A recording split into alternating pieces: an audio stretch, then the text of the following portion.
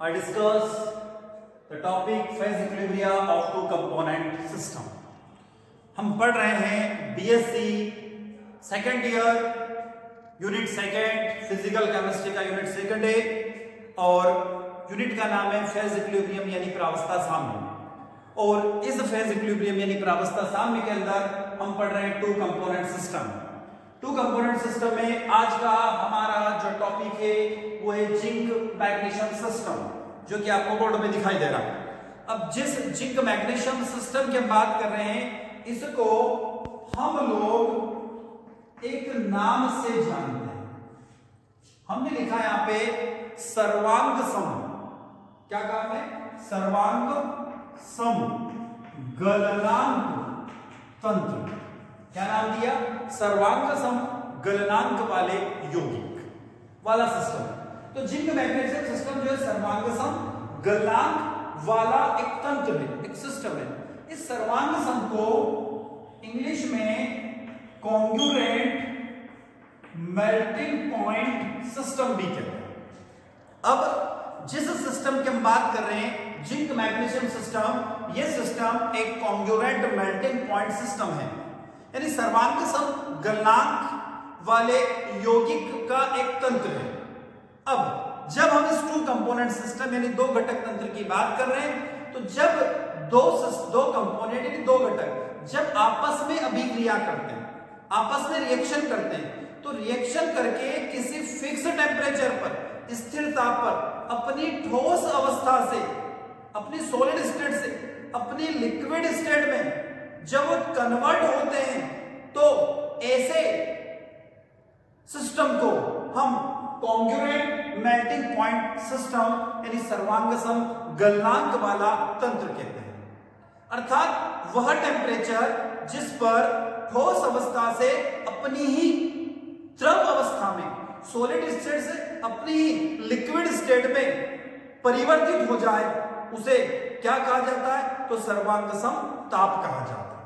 अब इस सर्वांग समताप यानी कॉन्ग्रेंट मेल्टिंग पॉइंट की जब हम बात कर रहे हैं तो इसमें हम लोग पढ़ रहे हैं जिंक मैग्नीशियम सिस्टम। अब हम बात करते हैं जिंक मैग्नीशियम सिस्टम के अंदर क्या क्या होता है। यदि आपको बोर्ड पर देखें तो एक ग्राफ बना दिखाई दे रहा है। ये ग्राफ जिंक मैग्नीशियम सिस्टम को रिप्रेजेंट करता है। सबसे पहली बात देखें तो ये कौन सा सिस्टम है? तो हम लोग जानते हैं कि यह एक टू कंपोनेंट सिस्टम है। यानी कि दो घटक तंत्र है। टू कंपोनेंट सिस्टम मतलब कि दो घटक तंत्र है।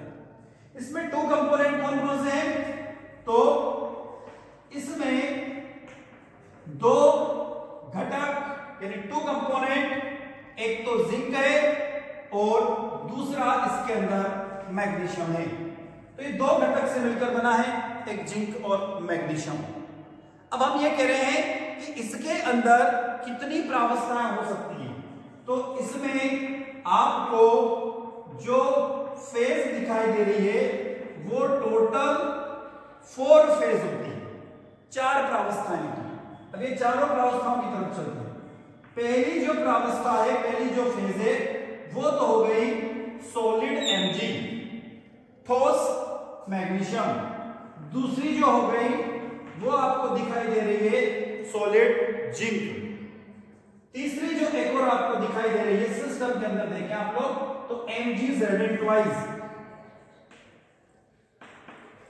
और चौथी जो फ़ेज़ है इसके अंदर, इन दोनों का सॉल्यूशन तो solution of M G and L zinc और मैग्नीशियम या मैग्नीशियम और जिंक का विलियन। ये पूरा जो ग्राफ है, ये किसके बीच में प्लॉट किया गया है? तो टेम्परेचर और कंपोजिशन यानी कि तापमान और संगठन के बीच में इस ग्राफ को हमने प्लॉट किया है। इस ग्राफ को हमने खींचा है। अब जब हम इस ग्राफ की बात कर रहे हैं तो ये संपूर्ण ग्राफ में टेम्परेचर क्या है? सॉरी प्रेशर क्या है? तो इसमें प्रेशर कांस्टेंट है। यानी एक वायुमंडलीय दाब, यानी वन एटमोस्फेरिक प्रेशर पर इस कर्व को या इस सिस्टम को हमने डेवलप किया। अब हम वन बाय वन इसमें समझते हैं, इसको देखते हैं। इसको हम कैसे पढ़ सकते हैं? तो चलो, हम चलते हैं। अब हमारे सिस्टम की तरफ़, जिसको हमने कहा है कि that is a two component system total four phase clear है graph plotted between temperature and molar composition and pressure is a constant it is atmospheric pressure अब वन बाय वन इसको पढ़ने जा रहे हैं, समझने जा रहे हैं। हम देख रहे हैं कि हमने एक एक्सिस पर टेम्परेचर लिया और दूसरे एक्सिस पर आपने मोलर कंपोजिशन ले लिया। हमें यहाँ पर जो पॉइंट ए है, वो 100 परसेंट यहाँ पर मैग्नीशियम है और 650 डिग्री सेंटीग्रेड 650 डिग्री सेंटीग्रेड इस मैग्नीशियम का क्या होता है? मेल्टिंग पॉइंट यानी कि गलना होता है। दूसरी तरफ़ चले तो आपको पॉइंट बी दिखाई दे रहा है, जो कि जिस पर 100 परसेंट जिंक होता है और इस पॉइंट बी पर जिंक का मेल्टिंग पॉइंट 420 डिग्री सेंटीग्रेड होता है। अब हम जब पॉइंट ए पर है तो हम बात कर रहे हैं सबसे फ़र्स्ट पॉइंट की, जिसको हम कह रहे हैं वक्र एसी कर्व एसी हम कहाँ पर है? हम पॉइंट ए पर खड़े हो ए से सी की तरफ़ आ रहे अब हम जब पॉइंट ए पर है तो इसे मैग्नीशियम का फ्रीजिंग पॉइंट का रूप कहते हैं। तो हम क्या कह रहे हैं? पॉइंट ए को मैग्नीशियम का क्या कहलाएगा? फ्रीजिंग पॉइंट कह सकते हैं। क्या कहलाएगा? मैग्नीशियम का फ्रीजिंग पॉइंट कर्व है। ठीक है? पॉइंट ए क्या है? सॉरी इस पूरे को हम बोल सकते हैं कर्व एसी कर्व एसी को मैग्नेशियम का फ्रीजिंग पॉइंट कर्व कहते हैं। अब जब हम इसको, पूरे को ए से सी तक को हम मैग्नेशियम का फ्रीजिंग पॉइंट वक्र कह दें। हिंदी बोले तो वक्र कहा जाता। है बिंदु ए पर 100 परसेंट मैग्नीशियम है, जिसका मेल्टिंग पॉइंट 650 डिग्री सेंटीग्रेड है। अब इस मैग्नीशियम में धीरे धीरे जिंक मिलाया जाता है। तो जिंक मिलाने पर हम पॉइंट ए से सी की तरफ़ आते हैं। जब हम पॉइंट ए पर है तो पॉइंट ए से जब जिंक मिलाया जाता है तो पॉइंट सी की तरफ़ आते हैं। ऐसी कंडीशन में इसका मेल्टिंग पॉइंट डाउन हो जाता है या डिक्रीज हो जाता है। अब मैग्नीशियम का जो मेल्टिंग पॉइंट था, उस पर जिंक मिलाने पर हमें कर्व एसी मिलता है। और पॉइंट सी पर जब हम आते हैं तो पॉइंट सी पर हमें एक नई फ़ेज़ या एक नई प्रावस्था कौन सी दिखाई देगी? M G Z and twice दिखाई दे जाती है। तो हम क्या कह सकते हैं कि पॉइंट सी पर नई प्रावस्था। पॉइंट सी पर कौन सी प्रावस्था? नई प्रावस्था। कौन सी? M G Z and twice हमें दिखाई देने लग जाती है। अब, जब हमें इस पॉइंट पर हमें क्या दिखाई देने लगी प्रावस्था दिखाई देने तो यहाँ पर यदि हम डिग्री ऑफ़ फ्रीडम निकालें तो कैसे निकाल सकते हैं? तो हम लोग जानते हैं F equal to C minus P plus one condense phase rule की बात कर रहा हूँ F equal to C minus P plus one जब कंडेंस फ़ेज़ रूल की बात की जा रही है तो टोटल ए से सी तक हमें दो प्रावस्थाएँ दिखाई दे रही है। कौन सी प्रावस्था दिखाई दे रही ए से सी तक दो प्रावस्था एक तो मैग्नीशियम किस कंडीशन में? मेल्ट कंडीशन में। और एक और कौन सी आ गई? एमजीजेड ट्वाइस तो हमें दो प्रावस्था यहाँ पर दिखाई दे रही है। तो ऐसी कंडीशन में हम क्या कह सकते हैं? हमारे पास में कंपोजिशन या कंपोनेंट कितने हैं? टू फ़ेज़ कितनी है? टू प्लस वन तो डिग्री ऑफ़ फ्रीडम कितना हो जाएगा? वन हो जाएगा। यानी इसको हम लोग एक चर तंत्र, यानी कि यूनी वेरिएट सिस्टम के नाम से जानते हैं। किसको यूनिवेरिएट सिस्टम बोलते हैं तो जिंक मैग्नीशियम सिस्टम का वक्र जो ऐसी है, कर्व ऐसी है, वो यूनिवेरिएट सिस्टम कहलाता है। अब हम कहाँ पर आ गए? हम आ गए पॉइंट सी पर। अब हम पॉइंट सी की बात करते हैं तो सेकंड पॉइंट है उसकी तरफ़ चल रहे हैं और उसको देखते हैं लोग हम बात कर रहे हैं किसकी? सेकंड पॉइंट है पॉइंट सी बिंदु सी की बात की जाए जब हम पॉइंट सी पर हैं तो हमें यहाँ पर तीन फ़ेज़ एक साथ दिखाई दे रही है। तीन प्रावस्थाएँ दिखाई दे रही है। ये तीन प्रावस्थाएँ कौन कौन सी है? तो देखो जब हम कह रहे हैं कि 650 डिग्री सेंटीग्रेड क्या है? टेम्परेचर है मैग्नीशियम का, जो इसके मेल्टिंग पॉइंट को रिप्रेजेंट करता है। जब हम इसको डाउन कर रहे हैं तो डेफिनेटली ये किस कंडीशन में चला गया? सॉलिड कंडीशन तो कितनी प्रावस्थाएँ यहाँ पर? यहाँ पर टोटल तीन प्रावस्थाएँ हैं। टोटल कितनी फ़ेज़ है? थ्री फ़ेज़ है। कौन कौन सी है? सबसे पहली तो सॉलिड मैग्नीशियम। पहली जो फ़ेज़ है वो क्या हो जाएगी? जब टेम्परेचर डाउन हो गया तो मैग्नीशियम लिक्विड स्टेट से सॉलिड स्टेट में कन्वर्ट हो गया। तो पहली तो मैग्नीशियम ठोस मैग्नीशियम दूसरी कंडीशन की बात कर। दूसरी कंडीशन की बात कर रहा हूँ तो यहाँ पे देखिएगा M G Z N twice M G Z N twice जब मैग्नीशियम में जिंक मिलाया जा रहा है तो M G Z N twice दूसरे में फ़ेज़ मिल गई तीसरी फ़ेज़ वो है कि ये किस कंडीशन में? मेल्ट अवस्था में, यानी कि द्रव अवस्था। तो हमें इस पॉइंट पर टोटल कितनी प्रावस्थाएँ मिल गई? तीन। तो इस पॉइंट को इक्विप्टिक पॉइंट कहा जाता है। हिंदी में कहें तो इसको गलन क्रांतिक बिंदु सी कहते हैं। क्या कहते हैं इसको? गलन क्रांतिक बिंदु सी इट्योक्टिक पॉइंट सी अब कंडेंस फ़ेज़ की बात करते हैं। F equal to C minus P plus one F equal to two minus three plus one तो एफ़ इक्वल टू क्या हो गया? कहने का मतलब है कि यहाँ पर कंपोनेंट सी जो है वो कितने हैं? दो हो गए। एक तो कंपोनेंट क्या है? जिंक दूसरा मैग्नीशियम फेस कितनी प्रावस्था है? तीन हो गई। तो डिग्री ऑफ़ फ्रीडम क्या हो गया? ज़ीरो यानी कि यह univariant sorry non variant system यानी कि अचर तंत्र है। क्लियर अब हम बात करते हैं सी से डी की तरफ़ जा रहे हैं तो थर्ड पॉइंट के बाद में चल रहे हैं फोर्थ पॉइंट की तरफ़। सॉरी थर्ड पॉइंट हमारा वक्र सीडी कर्व सी डी हम कहाँ पर है? सी हमें कहा जाना है? डी पर।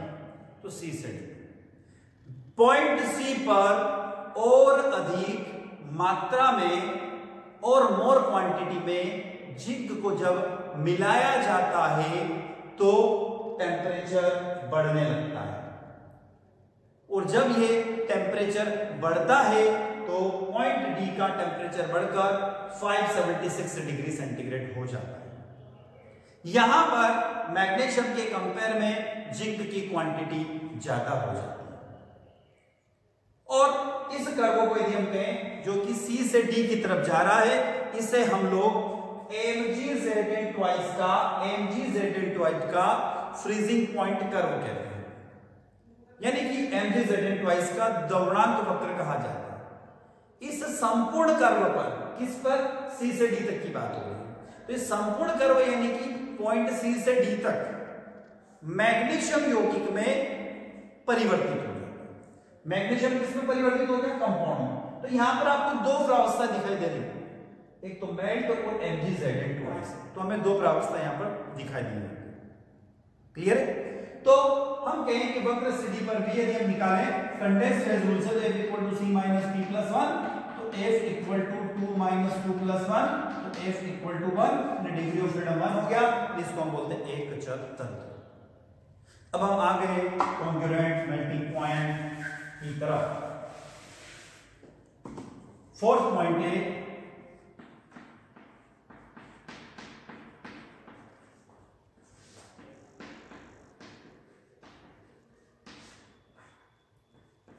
सर्वांग सम गलनांक क्या दिया हुआ है? डी इस पॉइंट पर सर्वांग सम गलनांक डी यानी इसको हम लोग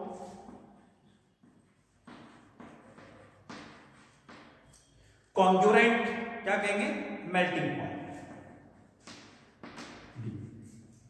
अब ये जो कॉन्जुरेट मेल्टिंग पॉइंट डी जो आपको दिखाई दे रहा है, जिसका टेम्परेचर कितना है? 576 डिग्री सेंटीग्रेड जिसका टेम्परेचर है। इस पॉइंट डी पर सॉलिड यौगिक व मेल्ट हमें दो प्रावस्थाएँ यहाँ पर मिल जाती है। कितनी मिल गई? M G Z N twice of melt हमें दो प्रावस्थाएँ मिल ठीक है? तो हम कहें तो यहाँ पर हमें प्रावस्थाओं की संख्या जो है, वो कितनी हो गई? दो प्रावस्थाएँ। बट यहाँ पर घटक, यानी कंपोजिशन पॉइंट ए पर सिर्फ़ एक है, और वो क्या है? M G Z N two तो हम ये कहेंगे कि बिंदु डी पर क्या है? बिंदु डी पर एक घटक, यानी one component M G Z N twice और वहाँ पर प्रावस्था कितनी है? दो है। एक तो पिघली हुई अवस्था में और दूसरा सोलिड स्टेट में।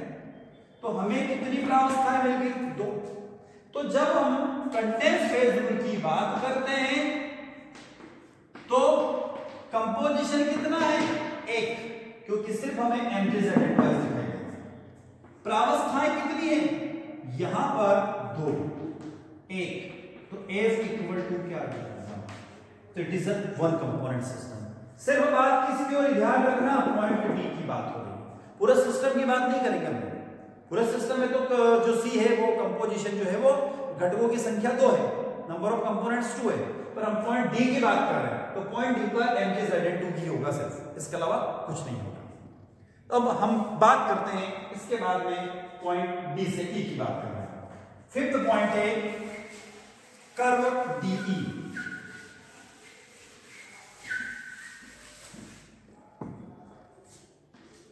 फिफ्थ पॉइंट वक्र डीई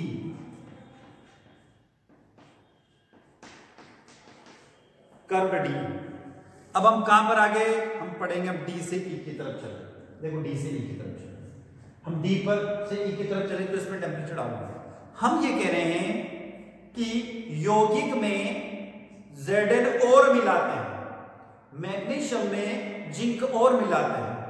तो ऐसे कंडीशन में मेल्टिंग पॉइंट यानी गलनांक का अवनमन हो जाता है, यानी डिक्रीज हो जाता है। और इस पॉइंट को हम पॉइंट ई से रिप्रेजेंट करते हैं। पॉइंट ई पर हमें सॉलिड कंडीशन में जिंक मिलने लग जाता है। तो इस पॉइंट पर हमें क्या क्या होगा? तो इस पूरे कर्व पर डी से लगाकर ई तक। एक तो solid M G Z N two और लिक्विड साम्य अवस्था में हो जाएगी। तो क्या हो गई? दो फेजेस हो जाती वहाँ दो प्रावस्थाएँ हो गई कौन सी? एक तो solid M G Z N two और दूसरी मेड साम्य अवस्था में हो गई यहाँ पर कंपोजिट कंपोनेंट कितने हो गए तो टू एक तो मैग्नीशियम और दूसरा क्या हो गया? जिंक तो इस तरीके से टू कंपोनेंट हो जाते हैं। जब दो घटक हो जाते हैं तो F equal to C minus P plus one तो F equal to two minus two plus one तो एफ़ इक्वल टू क्या हो जाएगा हमारा आंसर ज़ीरो तो इसको हम लोग क्या बोलेंगे? ये एक अचर तंत्र है, यानी कि नॉन वेरिएंट सिस्टम और इस पॉइंट ई e को भी हम लोग इक्विप्टिक पॉइंट यानी गलन क्रांतिक बिंदु के नाम से जानते हैं। इस वैल्यू पर किसी भी घटक में जो मेल्टिंग पॉइंट होता है, गलनांक होता है वो कम हो जाता है। यहाँ पर ठोस व द्रव योगी इक्विलिब्रियम कंडीशन यानी कि साम्य अवस्था में हो जाते हैं पॉइंट बी पर। अब हम चल रहे वक्र बी की तरफ़। लास्ट जो वक्र है फिफ्थ पॉइंट के बाद में सिक्स पॉइंट वक्र बीई कर्व बीई जब हम कर्व बी की तरफ़ चले तो पॉइंट बी पर जिंक का मेल्टिंग पॉइंट 430 डिग्री सेंटीग्रेड है। यहाँ पर पॉइंट बी पर जिंक किस कितनी क्वांटिटी में? तो 100 परसेंट होता है। इसको जिंक का फ्रीजिंग पॉइंट कर्व कहते हैं। और जब इसको फ्रीजिंग पॉइंट कर्व कहा जाता है तो हम यहाँ पर देखेंगे कि जिंक के मेल्टिंग पॉइंट में कमी आती है, यानी कि डिक्रीज हो जाता है। इस पॉइंट पर हमें एक नई प्रावस्था मिल गई, वो है M G plus M G Z N twice यानी M G Z N twice हमें नई प्रावस्था मिल जाएगी तो टोटल यहाँ पर प्रावस्थाओं की संख्या कितनी होगी? तो हमें देखे तो एक तो हमें यहाँ पर प्रावस्था इस सिस्टम के अंदर, एक तो जेड एन है ठीक है? और एक मेल्ट कंडीशन तो दो प्रावस्था घटक भी कितने? दो है। तो यदि हम चले तो f equal to C minus P plus one f equal to two minus two plus one तो f इक्वल टू क्या हो जाएगा? वन यानी इसको वन कंपोनेंट सिस्टम हैं। अब हम चलते हैं इसके एरिया की